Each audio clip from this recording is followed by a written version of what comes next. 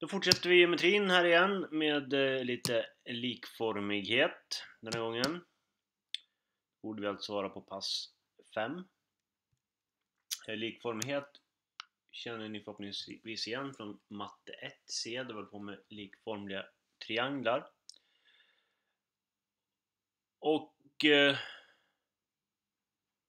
tittar vi på vad likformighet är så hör man ju det namnet. Vi alltså två stycken geometriska figurer med samma form helt enkelt. Eh, vi kommer nu titta på likformiga trianglar och likformiga månghörningar.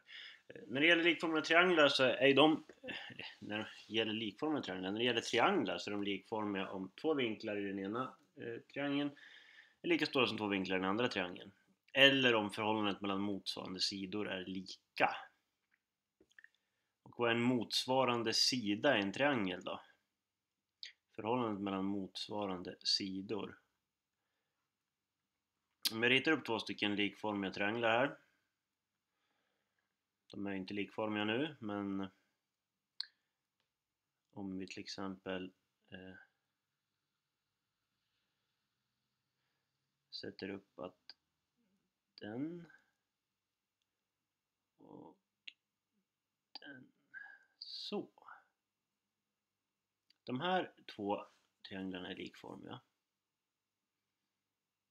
Eftersom två vinklar i den triangeln är lika stor som två vinklar i den andra triangeln.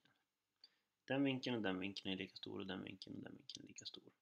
Det ser vi på våra beteckningar här. Sen att de faktiskt inte är det, det är för att jag har ritat som en kratta. Eh, men vi skulle prata om eh, motsvarande sidor. Motsvarande sidor står mot motsvarande vinklar. Så den här sidan till exempel, jag drar tre streck på den sidan. Den sidan står mot den vinkeln. Så motsvarande sida i den här triangeln måste ju vara den sidan. Eftersom den står mot den vinkeln. Det är alltså motsvarande sidor. Tittar vi på likformiga månghörningar så har vi lite mer krav för att de ska vara likformiga. Och kraven här är att motsvarande vinklar ska vara lika stora och förhållandet mellan motsvarande sidor är lika. Så det gäller ju inte bara att vinklarna ska vara lika utan förhållandet mellan motsvarande sidorna måste också vara lika. Här har vi två stycken rektanglar, de här är inte likformiga. Det vet ju vi att vinklarna i rektanglar, de är ju 90 grader va? Så alla vinklar är ju lika i de här två. Men förhållandet mellan motsvarande sidor är inte lika, därför är de inte likformiga. Så vi har lite högre krav på månghörningarna än, än trianglarna. Vi kör igen några exempel så får vi se. Om vi börjar med den första här då, ska vi bestämma x och y. Se vad vi fick för pennfärg. Kan fortsätta med blå. Eh, tittar vi på de här två trianglarna så kan vi ju se att två sidor lika. Nej, två vinklar lika menar jag. Ursäkta. Två vinklar lika.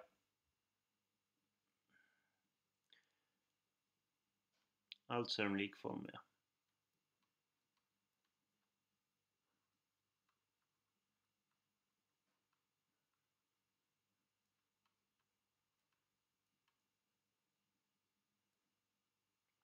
Som den vinkeln är lika stor som den vinkeln och den vinkeln är lika stor som den vinkeln. Då är de här likformiga. Om de är likformiga då vet vi att förhållandet mellan motsvarande sidor är lika. Så det betyder alltså till exempel om vi börjar med x att x genom 14 alltså förhållandet mellan den sidan och den sidan är lika med förhållandet mellan den sidan och den sidan Alltså 15 genom 12.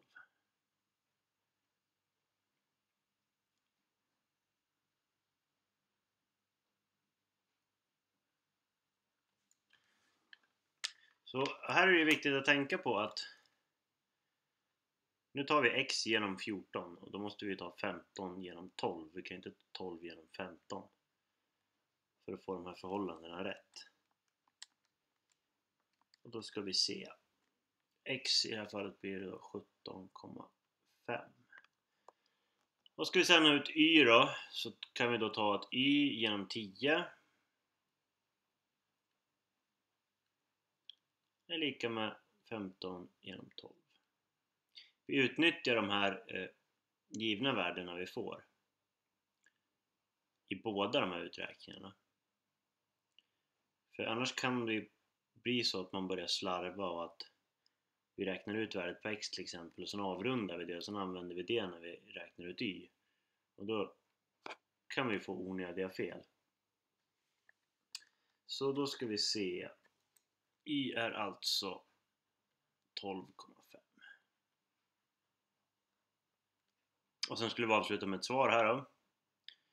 Jag tror vi tar det bara för att peka lite på någonting som ni ofta glömmer. Och det är ju enhet. Som i det här fallet är centimeter.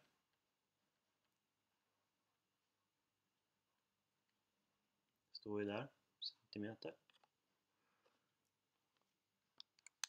Bra, då går vi vidare till nästa då. Är parallellogrammen likformiga? Motivera ditt svar. Parallellogram det är ju en månghörning va? Så att för att de ska vara likformiga så ska motsvarande vinklar vara lika stora och motsvarande sidor, eh, förhållandet mellan motsvarande sidor vara lika. I den här uppgiften så kan vi ju direkt dra slutsatsen att nej.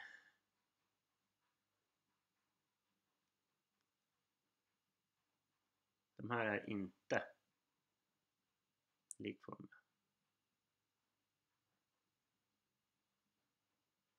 Och varför kan vi göra det för?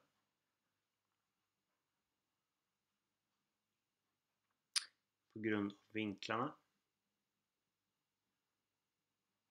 Den, tittar vi på vad vi har för motsvarande sidor och vinklar här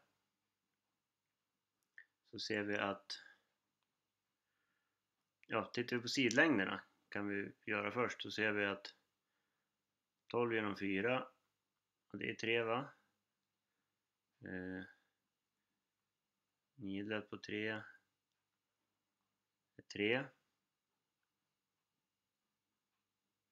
så att förhållandet eh, mellan sidorna verkar ju stämma men eh, vinklarna stämmer ju inte överens va? För att motsvarande vinklar ska ju vara lika stora. Och det är de inte i det här fallet eftersom 120 grader det är ju inte samma sak som 110 grader. Så, då tar vi ett till exempel då som är lite svårare. Vi ska här beräkna sidan AB. Då ska vi se. Vi ska beräkna sidan AB. Då tycker jag vi kallar den för X så att det blir lite lättare att hantera. Och sen får vi givet här. Nu är det jättebra att vi har en figur. Har ni ingen figur så får ni rita en figur så kan man skriva lite i figuren. Vi får här att sidan DE är 4,5 Sidan AC AC den är 6,0 och EC är 5,0.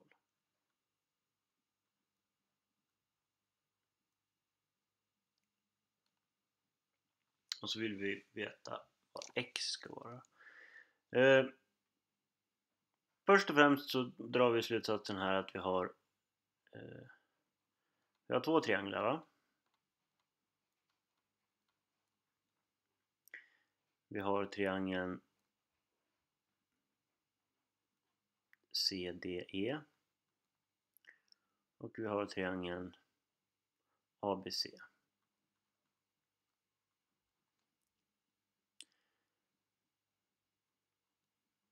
Trianglarna har två vinklar lika.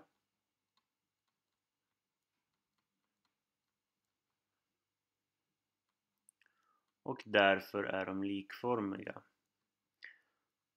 Alltså triangeln A bc är likformig med triangeln CDE.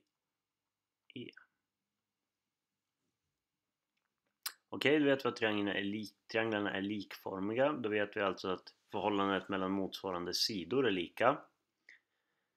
Och då är frågan vilka eh, är motsvarande sidor här? Om vi då tittar. Vi vet ju att vinkeln här EDC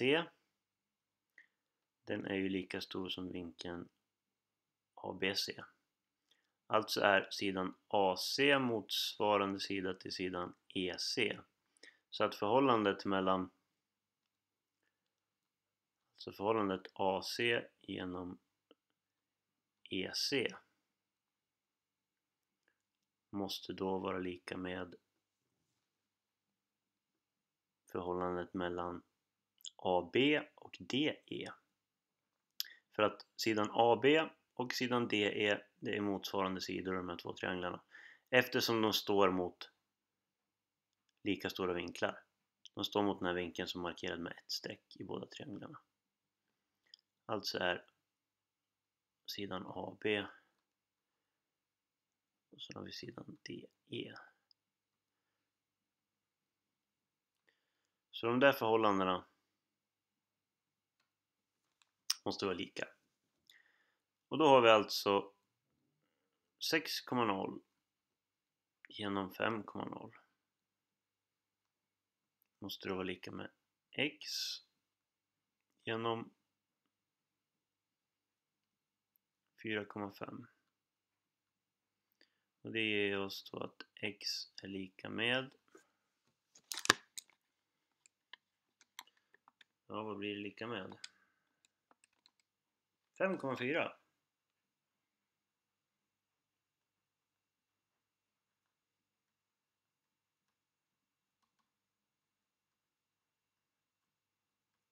x är lika med 5,4 centimeter.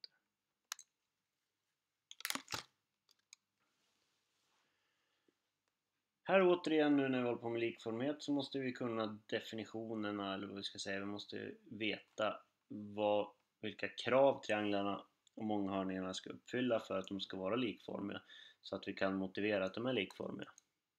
Som i det här fallet så att de här två trianglarna har två vinklar lika och därför är de likformiga. och sen utnyttjar vi det och sätter upp att om de är likformiga så måste ju förhållandet mellan motsvarande sidor vara lika. Då kan vi sätta in våra värden och lösa ut hur vi ska räkna ut. Vad bra! Då gör vi inte så mycket mer nu utan eh, vi ses till nästa video.